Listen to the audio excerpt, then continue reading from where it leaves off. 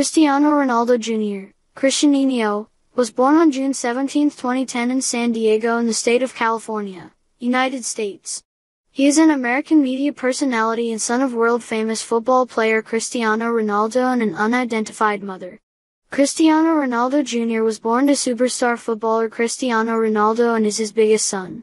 He himself is a talented footballer and has more often than not showed his skills in front of media.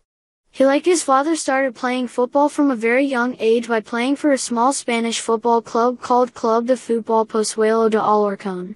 He rose to prominence after Cristiano Ronaldo posted a picture of him holding his two trophies which he won for scoring goals in the Pichichi and the Copa 2017 tournament.